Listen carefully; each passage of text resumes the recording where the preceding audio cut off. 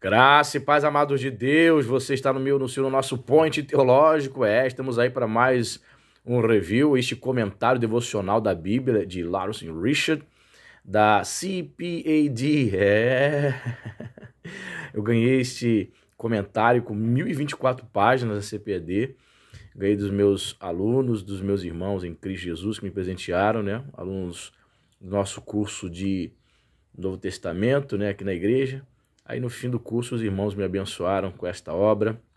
E eu estou aqui fazendo esse review para você. Perfeito? E para você que me conhece, eu sou o pastor Anderson Poço, estamos aqui nas internet da vida compartilhando conhecimento.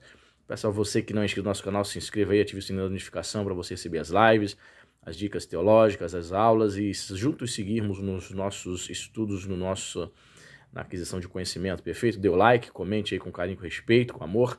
E vamos juntos. Peço a você, para você ajudar o nosso canal, que você possa estar compartilhando esse vídeo aí no seu, nos seus grupinhos de WhatsApp, Facebook, Telegram. Então você nos ajuda desta maneira. Outra forma de você nos ajudar é aqui na, nos comentários o link do Apoia-se. Você pode ser um apoiador do nosso canal a partir de R$ reais mensais. Fazendo isso, vamos colocar você no nosso grupo do WhatsApp. E dentro de breve vamos começar a sortear livro de teologia para os apoiadores que estiverem ativos ali mensalmente, tá bom? E outra forma, gostaria de pedir ajuda de vocês também é que aqui nos comentários também tem um link do nosso projeto Atos do Espírito, eu e minha filha Letícia, cantando uma família, so, uma música sobre família. Gostaria que você se inscrevesse lá naquele canal também, pudesse estar compartilhando, nos ajudando aí na divulgação desse trabalho, tá bom, queridos? Então vamos lá. Como eu falei para você, uh, essa obra merecia um, uma capa dura? Merecia, mas eu, eu, eu, eu sou, gosto, eu sou fã, eu sou fã de, de capa de brochura também, tá? Às vezes a capa dura, uma obra como essa, começa a se deteriorar bem mais rápido que brochura, às vezes, né? E Lawrence Richards, né? Muitas obras aí de Lawrence Richards a CPAD tem publicado, né? Eu gosto da maneira como ele escreve, é um cara erudito que consegue é, transitar entre erudição pura e essa questão do devocional. Então já abro aqui logo de cara, vamos direto ao que interessa.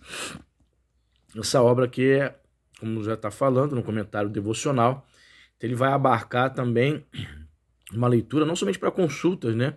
Para preparação de mensagem, mas como se fosse devocional de agenda, né? Com, com as datas, 1 de janeiro, leitura 1.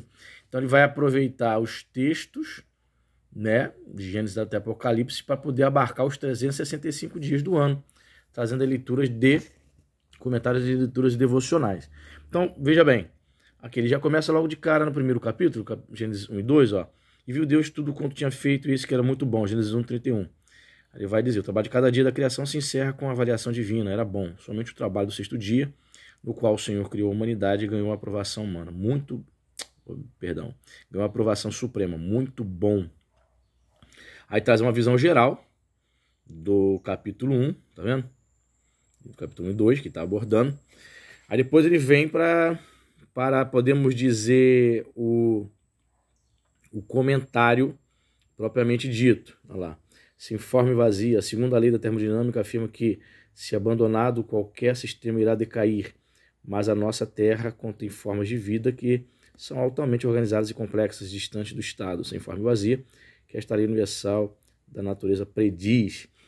Então ele vai trazendo assim, curiosidades acerca da física, né, lei da termodinâmica e tal, Aí ele não vai comentar versículo por versículo, não? Ele já vai dar um pulinho para o versículo 5 lá. O dia primeiro, os cristãos debatem o que significa de dia em Gênesis 1. Alguns acreditam que de dia é usado de maneira imprecisa para indicar uma era. Outros, observando a tarde e a manhã, mencionados no texto, concluem que o significado é um dia de 24 horas. Mesmo aqui, existe um debate. Os dias de 24 horas foram consecutivos ou poderiam ter sido separados por milhões de anos? As escrituras pouco fazem para satisfazer a nossa curiosidade científica. Por quê? Talvez porque, pela fé, entendemos que os mundos, pela palavra de Deus, foram criados uh, de maneira que aquilo que se vê uh, foi feito, não foi feito o que é aparente. Hebreus 11, 3. Mesmo se os detalhes fossem conhecidos, os incrédulos zombariam e ainda se apegariam aos seus caprichos. Mas existe ainda outra razão. O livro de Gênesis nos incentiva a olhar além do material ao imaterial, além da criação para o Criador. Uh, nada deve nos distrair do reflexo de Deus que nós vemos uh, no que ele criou. Aí ele vai vai perfazendo, veja, vai comentando, não é versículo versículo. Salta os dois, três versículos. Aí, por exemplo, se detém aqui, ela não façamos, Gênesis 1, 26. Alguns sugerem que a palavra plural Elohim usada aqui a respeito de Deus é um plural majestoso. Assim como a realeza humana às vezes fala de nós, o significado é eu. Também se considera que Deus se refere a si mesmo com plural. Os cristãos, no entanto, veem nesta antiga expressão evidência de que o Deus das Escrituras existe nas três pessoas, plenamente revelada somente em um Novo Testamento. Então, o um comentário devocional se apega, né, bastante a uma interpretação conservadora, certo? Aí comenta já o capítulo 2, já dá um salto para o capítulo 2, verso 8. Lá. Se parar o vídeo aí para você ver, para você ler esses detalhes. A mulher adjuntora lá. A costela lá. Os rabinos judeus logo perceberam que o modo da criação da mulher é significativo. Se Eva tivesse sido feita do pó da terra original, Adão poderia tê-la considerado como uma criação secundária inferior, formando Eva a partir da substância do próprio do próprio Adão. Deus afirmou a plena identidade de homens e mulheres com pessoas que trazem a imagem divina. Adão viu as implicações imediatamente as aceitou completamente. Eva foi uh, recebida como osso dos meus ossos e carne da minha carne. Que lição está aqui inserida para os cristãos considerarem seriamente. Aí, sempre ele vai fechar aí, ó, um devocional, baseado no texto que ele aplicou, né? Gênesis 1 e 2. No caso aqui, ele vai se deter mais na questão da imagem e semelhança de Deus, Gênesis 1, 26 e 27. Certo? Aí, olha só. Aí ele traz o devocional aqui em uma coluna, segunda coluna, certo? Aí ele vai fazer sempre os devocionais, no final ele traz uma aplicação pessoal, que legal. E ele faz uma citação importante de algum autor, algum escritor uh, famoso, algum pai da igreja, muito legal. Citação importante. Lembre-se de que compartilhar significa mais do que cortar um pedaço de bolo em duas fatias iguais. Isso, olha o vento aí, ó, bateu a porta. Isso envolve toda a sua atitude com relação a outra pessoa. Lembre-se de todas as maneiras nas quais vocês são pessoas iguais na estima de Deus. Então equilibre a sua vida para adequar-se à opinião dele, não da sociedade à sua volta. Pat Gundry. Aí você veja, aí termina. Aí vem aqui, segundo dia, 2 de janeiro, entende? E, por exemplo, dedicou aqui, entre comentários, devocional, aplicação pessoal, uh, três páginas. Então a pessoa pode ler aí, fazer um plano de leitura de um ano. Aí chega aqui, dia 2 de janeiro. Aí ele vai abordar Gênesis 3.5. Ou seja, você dedicaria aí, no segundo dia do ano, se você fizer um plano de leitura, você dedicaria dois capítulos, onde ele vai trazer né, um versículo tema, né? Temi porque estava no escondi-me. Um dos grandes mistérios que confunde os filósofos está solucionado em Gênesis 3. O pecado não é inexplicável, explicável remanescente do suposto surgimento da humanidade, a partir da bestialidade, mas uma herança que seguiu a queda de Adão. Contudo, o foco estes dois capítulos não está no fato do pecado, mas nas suas consequências. Aí traz sempre uma visão geral, né, que vai abordar os dois capítulos, 3 e 5. Entendendo o texto, que é a parte que ele comenta, é um comentário sim, mas não versículo versículo. Ele salta aqui, por exemplo, do versículo, no capítulo 3, versículo 1. Ele vai dar um salto para o, olha lá, morrereis. Vai abordar a palavra morrereis no Gênesis 3, 4. Olha lá, morrereis. Na Bíblia, morte é um termo abrangente que descreve o fim da vida biológica, mas também descreve a condição psicológica, social e espiritual do homem. Quando Deus advertiu Adão que no começo o fruto proibido, explicou: Não comereis dele, para que não morrais. O pecado de Adão trouxe a morte nos seus quatro significados. Biologicamente, o processo de vencimento começou quando Adão pecou. Um processo que levou à morte do primeiro casal e à morte física que espreita cada humano, cada ser humano agora. Psicologicamente, Adão e Eva foram tomados de culpa e vergonha, expressas aqui na sua percepção de nudez, capítulo 3, 7. Socialmente, Adão e Eva começaram a ter ideias divergentes, culpando o outro pelo seu ato. A harmonia que tinham conhecido foi rompida pela discussão. Espiritualmente, Adão e Eva foram alienados de Deus. Isso cria um sentimento de medo. O Deus de amor tinha se tornado repetidamente um objeto de terror. Nenhum ser humano é tão mal como pode ser. Mas todos os seres humanos, as vítimas do legado do pecado, que é a morte física, psicológica, social e espiritual, são tão maus como pode ser. Tá vendo? Aí já pula pro 3.7. Certo? Veja bem. Mais, um, mais uma página aqui, depois você pode parar o vídeo para ler detalhes. Ó. 3.21. Tá vendo? Vai comentando, tá comentando, tá comentando, tá comentando. Aí ele fecha o comentário. Já deu um pulo aqui, ó, pro capítulo 4, lá. Irou-se Caim fortemente. Adão e Eva não, é, não puderam deixar de observar esta evidência de morte espiritual que transmitiram aos seus descendentes. Quando Deus aceitou o sacrifício de Abel e rejeitou a oferta de Caim, este encheu-se de ira. Caim atraiu seu irmão ao campo, onde o atacou e matou. Perfeito. Comenta o capítulo 4. Aí ele fecha o capítulo 4 e 5. Trouxe um panorama geral. Aí vem com devocional, fechando, né? Fechando cada dia, digamos assim, do ano. Muito legal. Lá, por que comeste? Então ele vai abordar um devocional. Poxa, muito legal.